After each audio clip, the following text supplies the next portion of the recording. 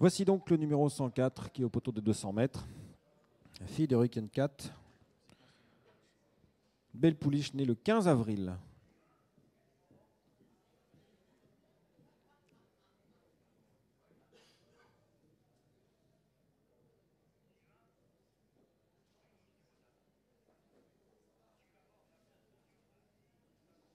Mhm.